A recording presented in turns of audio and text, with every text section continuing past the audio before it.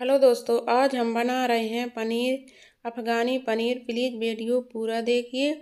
इंता रसोई में आपका स्वागत है। आज हम अफ़गानी पनीर बना रहे हैं। अगर अभी तक मेरा चैनल आपने सब्सक्राइब नहीं किया तो प्लीज़ मेरा चैनल सब्सक्राइब कीजिए। आपने बहुत बार पनीर खाया होगा, मटर पनीर, पालक पनीर, पर अफ़गानी पनीर नहीं बनाया होगा। आज हम वही बना रहे हैं, जिसे बनाने के लिए हमने पनीर लिया है।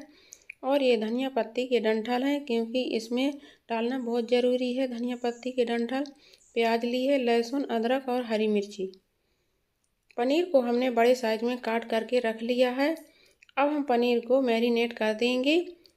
मैरिनेट हम करेंगे कुटी हुई काली मिर्च से और नमक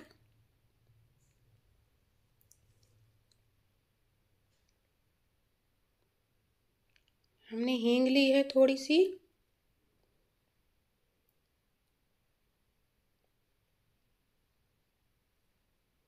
ये हमारे धनिया पत्ती के डंठल हैं।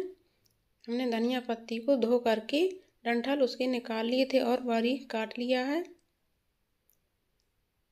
लहसुन अदरक का पेस्ट। इसे अच्छे से मिला करके हम आधा घंटा के लिए रख लें, देंगे।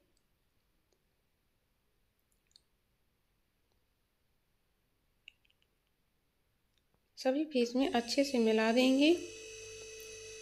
क्योंकि मैरिनेट करने से सब्ज़ी बहुत टेस्टी बनती है।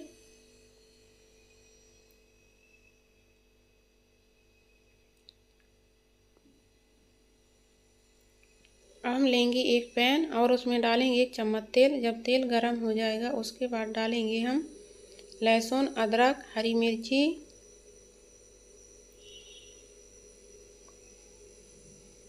क्योंकि आज हम लाल मिर्ची का यूज़ बिल्कुल नहीं करेंगे। आज हम हरी मिर्ची से ही सब्ज़ी बनाएँगे। जब लहसुन को एक मिनट तक हम भूंज लेंगे तेल में, उसके बाद डालेंगे हम प्याज।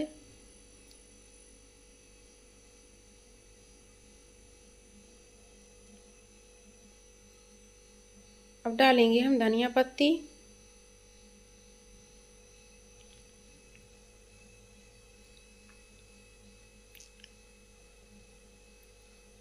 इसे दो मिनट तक हम भूंज लेंगे। इसका कच्चापन चला जाए। इसे हमें जलाना नहीं है।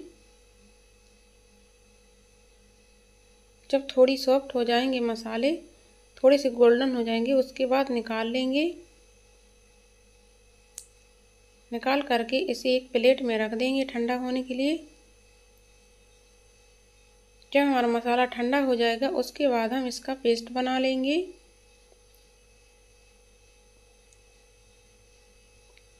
इसमें डाल देंगे थोड़ा सा दही। दो चम्मच हमने दही डाला है। और डाल देंगे दही, नमक और इसका पेस्ट बना लेंगे। बिल्कुल महीन पेस्ट बनाना है। पेस्ट बना करके एक बोल में निकाल लेंगे। इसमें अभी हम पानी बिल्कुल नहीं डालेंगे। अब इसमें डालेंगे मसाले और दही। ये दही हमने घर पर जमाया था। अगर आपके पास मीठा दही है तो उससे बनाएँ। डालेंगे इसमें हम जीरा पाउडर, भुंजा हुआ जीरा का पाउडर और धनिया। धनिया पाउडर बहुत सारा डालना है, जीरा पाउडर कम डालना है। थोड़ी सी हल्दी डालेंगे, केवल स्वाद के लिए। ज़्यादा नहीं डालेंगे कि हमारी सब्ज़ी हरी बने। इसलिए हम ज़्यादा हल्दी नहीं डालेंगे, थोड़ी सी डालेंगे। अब रखेंगे एक कढ़ाई, उसमें डालेंगे तेल, दो बड़े चम्मच। जब तेल गर्म हो जाएगा, उसमें डालेंगे तेज पत्ता दालचीनी और बड़ी इलायची। थोड़ा सा हम फ्राई कर लेंगे मसाला। इसके बाद डालेंगे ग्रेवी।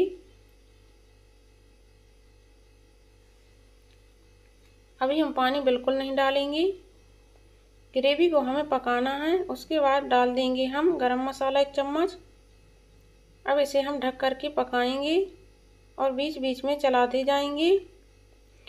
जब हमारी ग्रेवी अच्छे से पक जाएगी, खुशबू आने लगी, कुछ ऐसी दिखने लगेगी, तेल ऊपर आ जाएगा। उसके बाद डालेंगे हम पानी।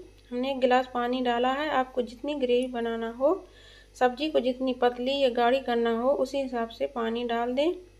इसमें हमने नमक बिल्कुल नहीं डाला है, क्योंकि हमने नमक मसाला में डाल लिया था, जब हमने मसाला पीसा था और पनीर में डाल लिया था। अब ग्रेवी को पका लेंगे।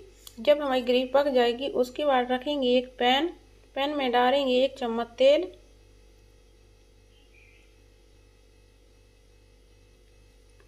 जो हमने पनीर मैरिनेट करके रखा था, उसे इसमें फ्राई कर लेंगे। गैस को बिल्कुल तेज रखना है। पनीर को गोल्डन होने तक फ्राई करना है।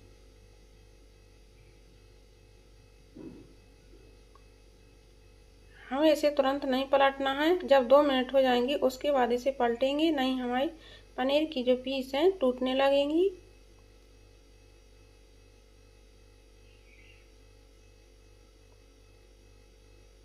जब एक साइड गोल्डन हो जाएँगी, उसके बाद इसे हम दूसरी साइड पलट देंगे।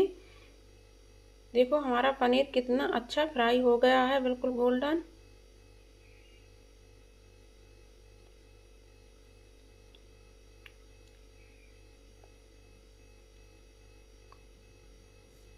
अब हमारी ग्रेवी बन गई है और पनीर भी फ्राई हो गया है। हमारा अफ़गानी पनीर बनकर रेडी हो गया है। इस पनीर को आप पूड़ी के साथ खाइए, चावल के साथ, बहुत टेस्टी लगेगा। अब इसे हम एक बॉल में परोस देंगे। पहले डालेंगे ग्रेवी ऊपर से रखेंगे पनीर। और कमेंट करके ज़रूर बताना कि मेरा वीडियो आपको कैसा लगा। और घर पर आप भी बनाइए और फिर बताइए कि आपका पनीर कैसा बना। ये पनीर की सब्ज़ी बहुत टेस्टी बनती है। अगर आप एक बार बनाओगे तो बार बार यही बनाने की इच्छा होगी क्योंकि बहुत स्वादिष्ट बनती है।